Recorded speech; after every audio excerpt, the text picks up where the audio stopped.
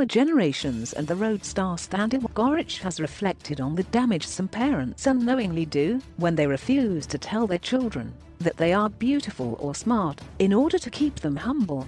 Sthandiwe has long been preaching about self-worth and took to Instagram this week to share how she had pledged to encourage her daughter and make her feel worthwhile. She claimed that parents often didn't compliment their children to keep them humble. She recounted a story of a friend who was never told she was beautiful and the impact it had on her. One of my best friends is drop dead gorgeous and she says she doesn't remember her mom telling her that she's beautiful. When people mentioned it, she would hear her mom say, don't ruin my child. Our parents thought, if they told us that we're beautiful or that we're smart, it would make us big-headed.